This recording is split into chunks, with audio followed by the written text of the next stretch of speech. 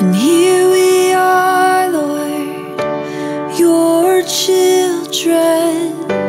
You delight in our affection, so we pour it out. We won't hold back